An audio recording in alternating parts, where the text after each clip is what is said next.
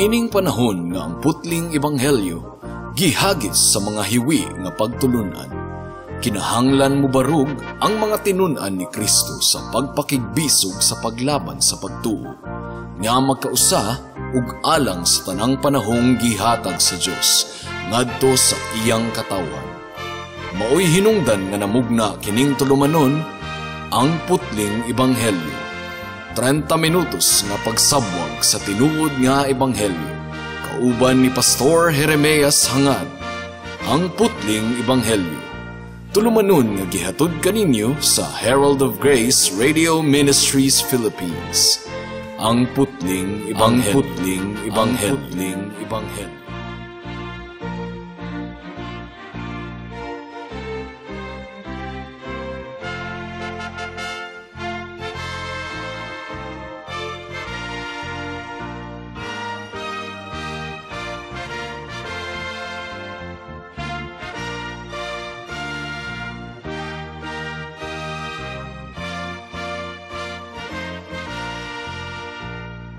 Mayong hapon Mabinay, mayong hapon Negros Oriental, Negros Occidental, Gimaras, Dumaguete City, ug kutob sa tanang gidala sa Ginoo sa pagpaminaw niining atong programa nga giuluhan og ang putling ebanghelyo.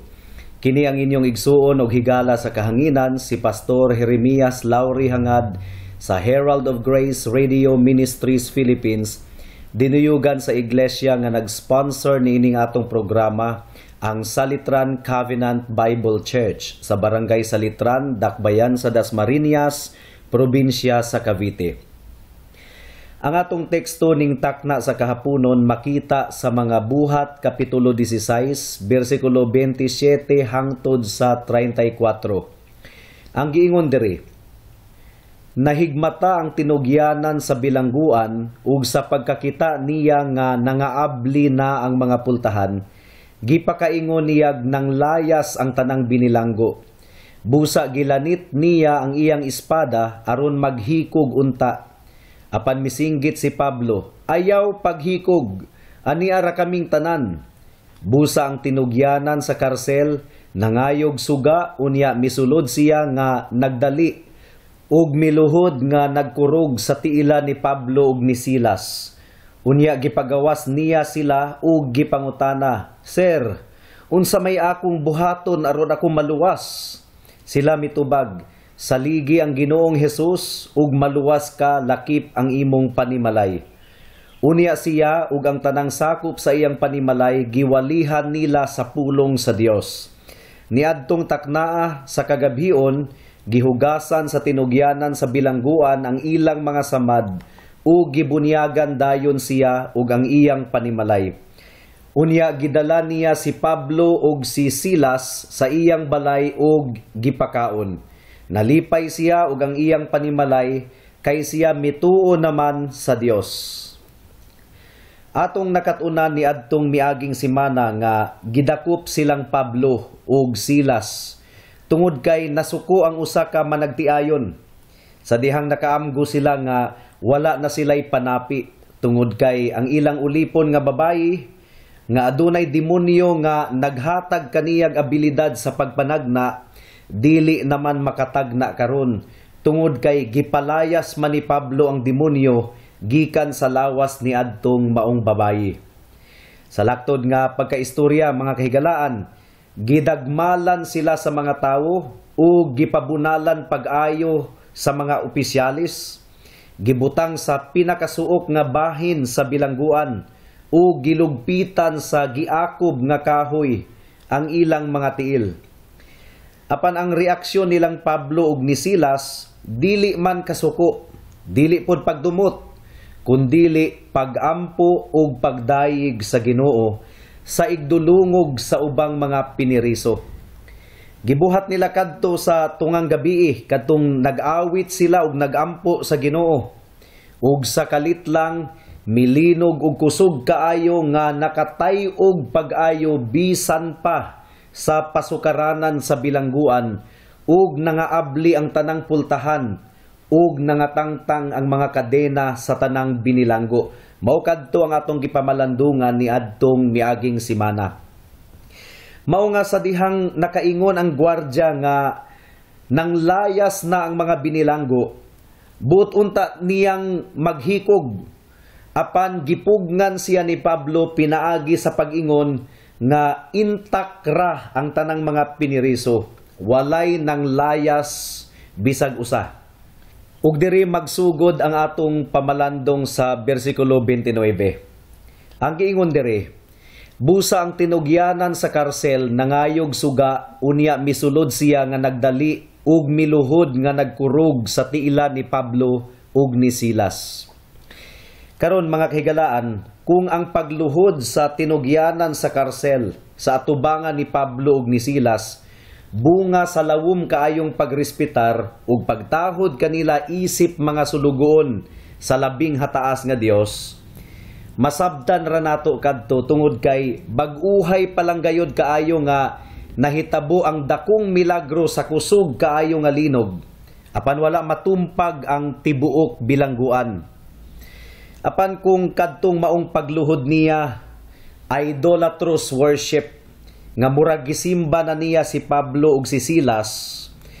Well unsa may atong malauman kaniya nga niadtong puntuha pagano pa man siya wala pa niya masabti ang kamatuuran mahitungod sa atong Ginoong Dios. Adunay upat ka bahin ang atong pamalandong ning takna sa kahaponon. Una, ang pangutana sa tinugyanan sa bilangguan. Ikaduha, ang tubag sa pangutana sa tinugyanan sa bilangguan. Ikatulo, ang pagdawat sa tinugyanan sa bilangguan sa kamatuuran. Ug ikaupat, ang bunga sa kamatuuran nga iyang gidawat.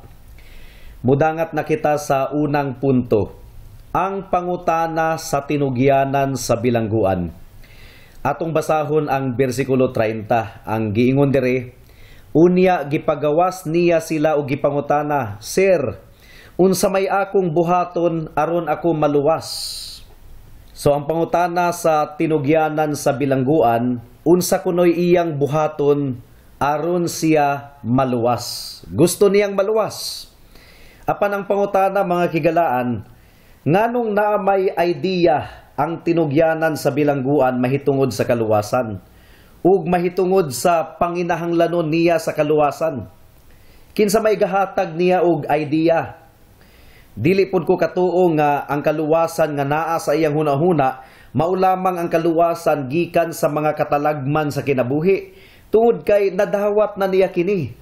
Di ba? Naluwas siya gikan sa kaulaw o gikan sa death penalty tungod kay bisan pa sa kusog kaayo nga linog ug pagkaabli sa mga pultahan sa pirisuhan ug pagtangtang sa mga kadena nga gihikot sa mga piniriso wala may nang layas bisag usa gani maghikog na unta siya apan napakgang siya sa pagbuhat niini So, baguhay pa lang siyang naluwas gikan sa katalagman kung buto na hunaon. Apan nganong nangutana pa man gihapon siya kung unsay iyang buhaton aron siya maluwas. So klaro gayud kaayo nga ang kaluwasan nga anaa sa iyang hunahuna ni adtong tungura wala nay lain kundili kaluwasan sa iyang kalag. Kaluwasan gikan sa sala ug kaluwasan gikan sa silot sa walay katapusang pag-antos didto sa impyerno. So giunsa man niya pagkabaton og idea mahitungod sa kaluwasan.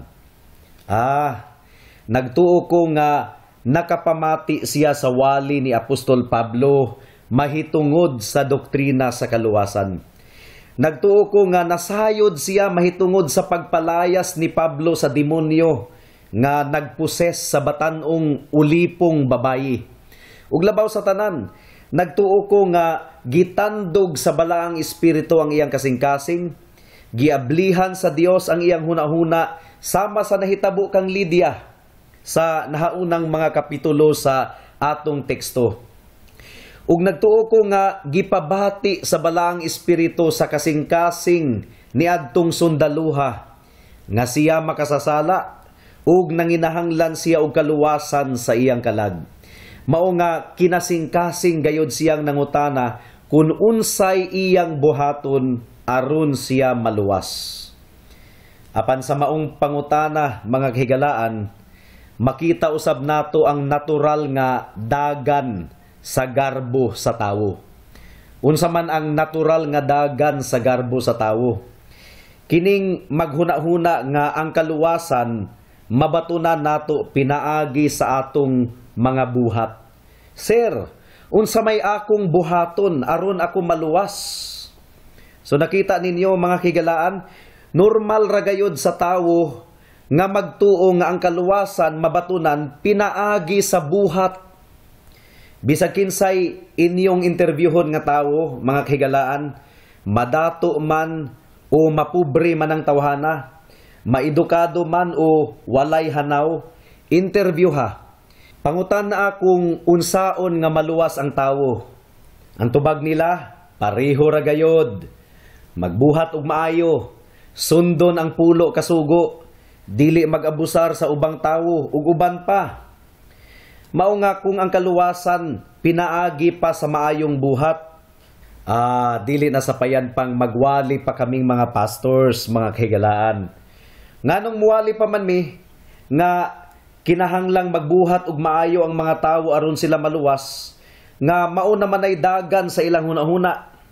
So gausik-usik lang mi sa among laway apan kinahanglan gayod kaming muwali tungod kay ang kaluwasan dili gayod pinaagi sa buhat kundili pinaagi lamang sa grasya sa Ginoo diha kang Heso Kristo wala kini mahibaw-i sa komon nga mga tawo mao nga kinahanglan kaming muwali apan mga kahigalaan bisan pag invalid kadtong maong pangutanaha sa tinugyanan sa bilangguan sensible gihapon kaayo kadto nga pangutana tungod kay nagpakita lamang kadto nga aduna siya'y pagpakabana sa iyang kalag.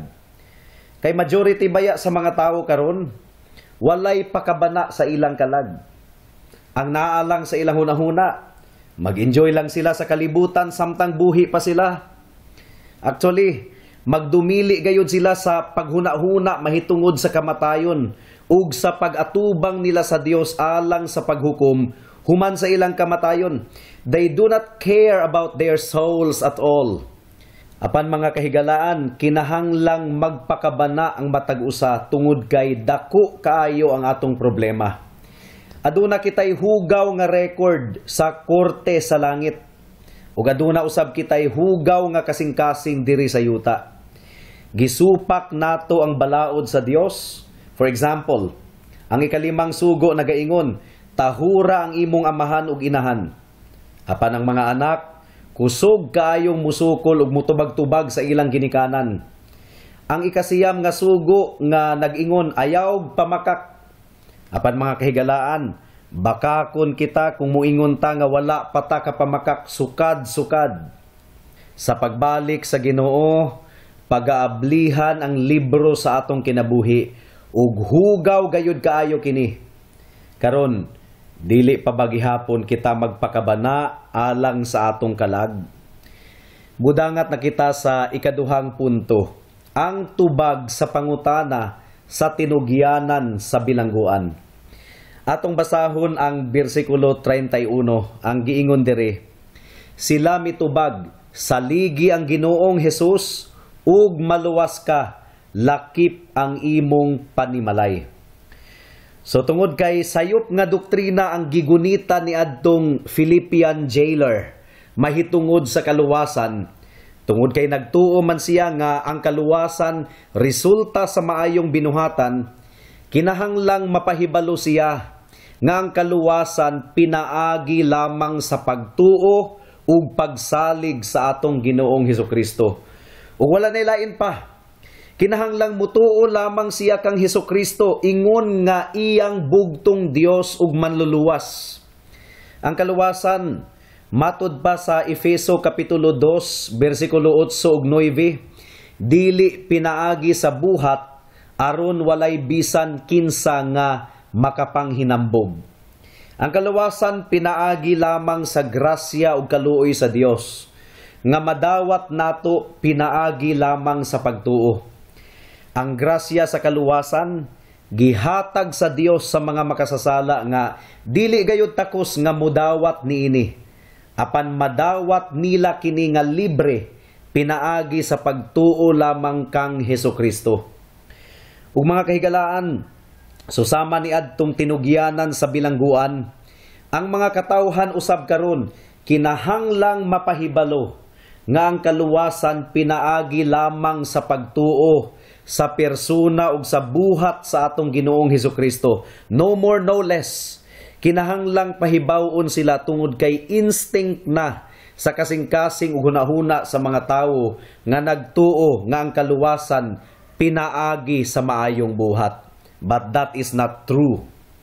Believe on the Lord Jesus Christ. Kini usa ka simple tataw ug dayag nga direksyon alang sa kaluwasan. Tuo kang Heso Kristo alang sa unsa? Well, kung mubalik kita sa atong problema at tubangan sa Ginoo, aduna kitay bad record sa libro nato didto sa korte sa langit tungod sa atong mga sala. Unsaon man sa pagpapas sa hugaw nato nga record. Klaro kaayo ang giingon sa Hebreohanon 9:22 nga kung walay pag-aga sa dugo walay kapasayloan sa sala. Well, giula na ni Jesus ang iyang dugo didto sa cross sa Kalbaryo. Ug nagsaad siya nga ang tanang mutuog musalig sa iyang dugo adunay kapasayloan sa tanang mga kasalanan. Ug dugang pa ang kamatayon ug pagkabanhaw sa atong Ginoong Hesus Kristo gamhanan kaayo alang sa pagbag-o sa kasing-kasing sa mga tawo. Ang kaluwasan nga gihatag ni Hesus kumpleto nga kaluwasan. Naglangkob kini sa pagpapas sa tanan natong mga sala ug sa pagbag-o sa dautan natong kasing-kasing aron makabaton kini og tinuod nga paghigugma sa Dios paghigugma sa pagkabalaan ug pagdumot sa kasalanan.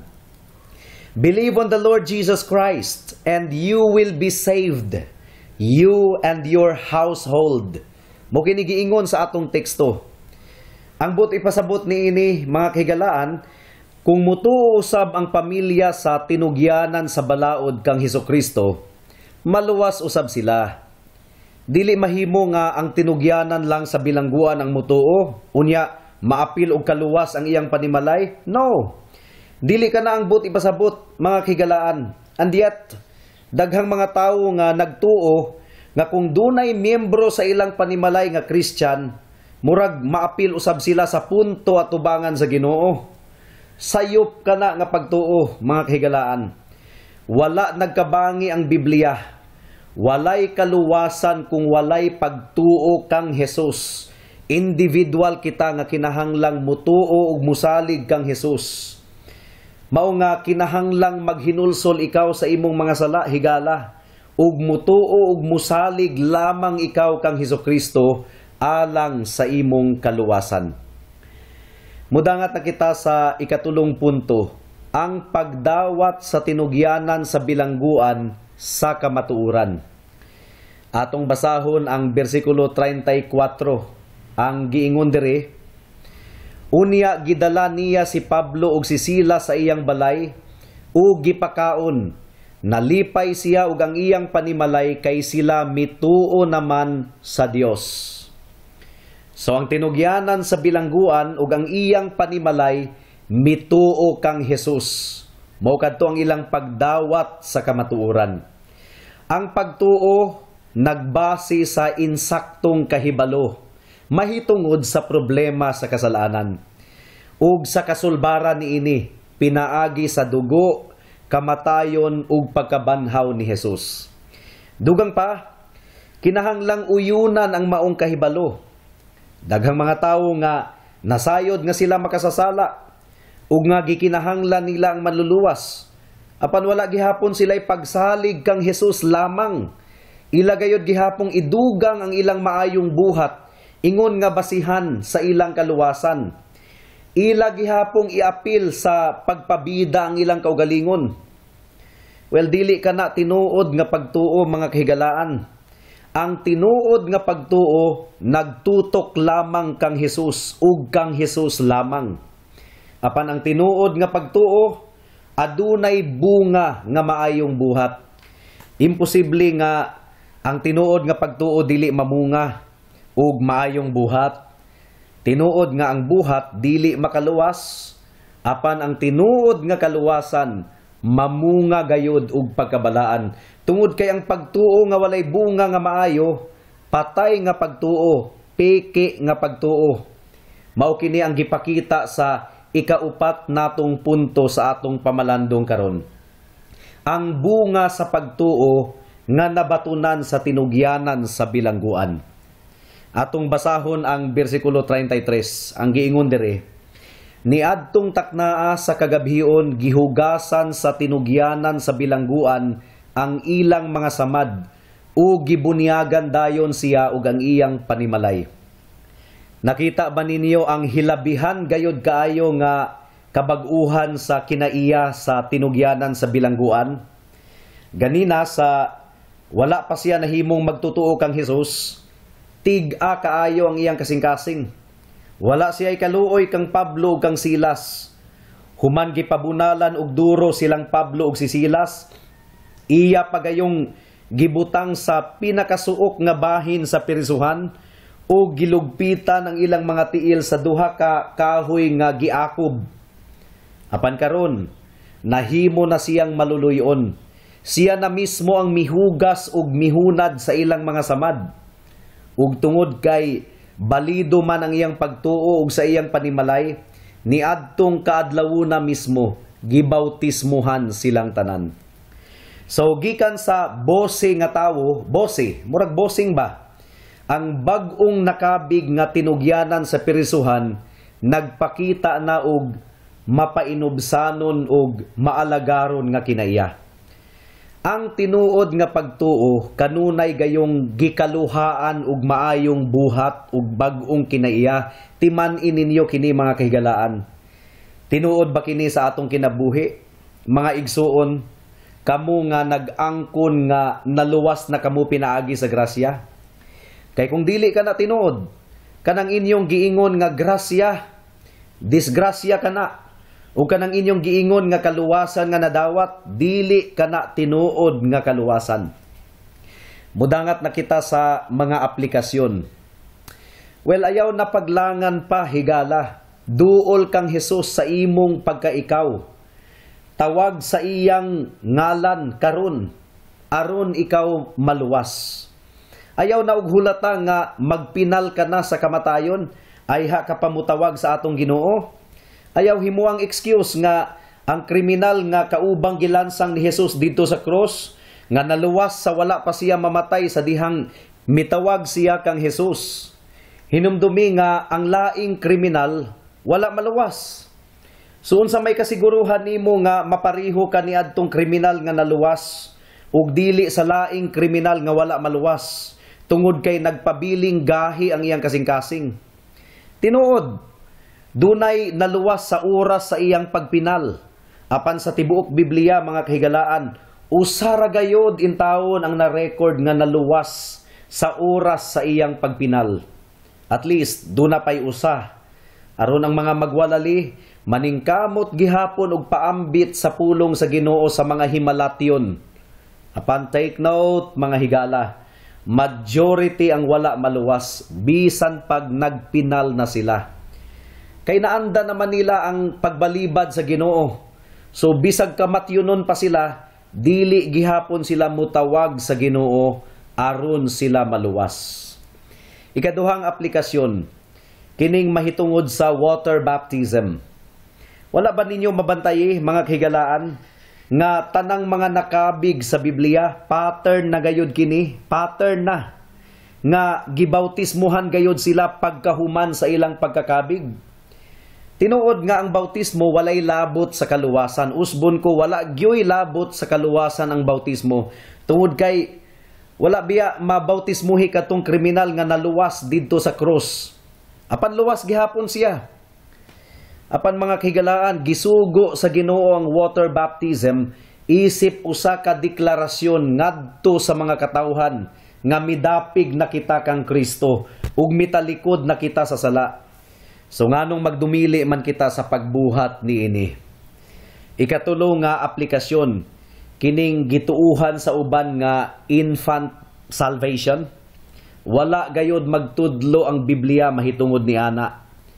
Kaysa tinuod lang hilom ang Biblia mahitungod sa mga puya nga bata nga nangamatay kung luwas ba sila o dili.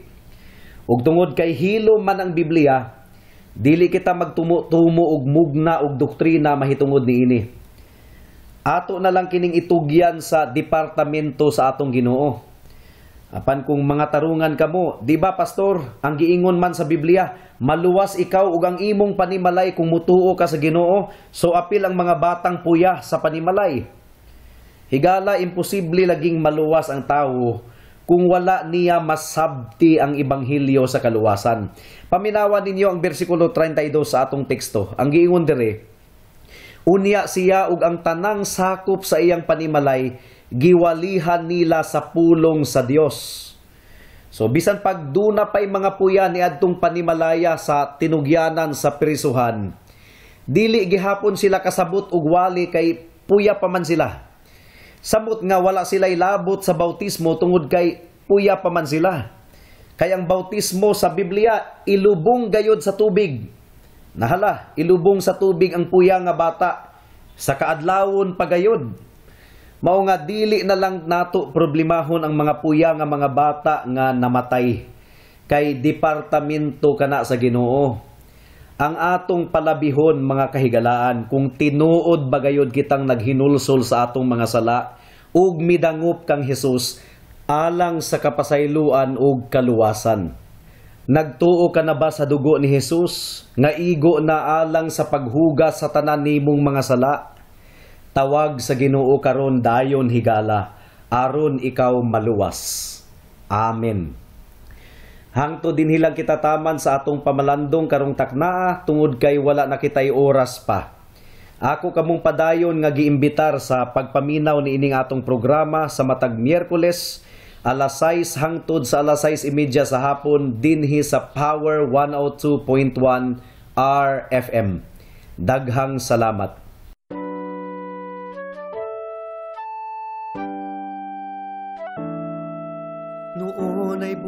Bulag ako sa daan ng kaligtasan Tulad ng marami, nakatuon ako sa sarili Mabait naman at matulungin at walang kapwang inabuso. Kung kaya't ang tiwala ko, malamang ligtas ako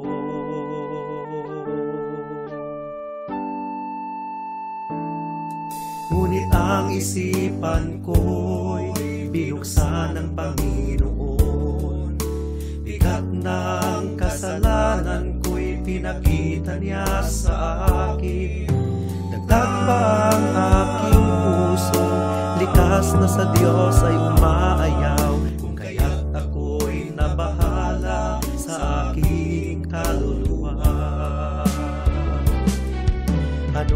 bang batayan ng katubusan at kaligtasan ng isang katulad kong makasalanan? Ngayon ay batid ko na na ako'y walang magagawa upang ituwid ang aking kaluluwa sa harapan ng Diyos ako'y tumawag kay Jesus at nagtiwala ng lubos sa kanyang kapatawaran at awang puspos. Siya lang ang manunubos pagkat siya'y namatay sa krus dahil sa aking kasalanan ang sumpa sa kanya'y binuhos.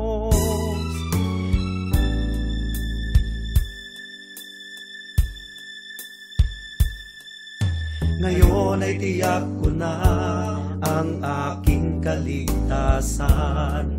Aking nararanasan, tunay na kapayapaan Ang puso ko'y binago niya, ang buhay ko'y inayos niya.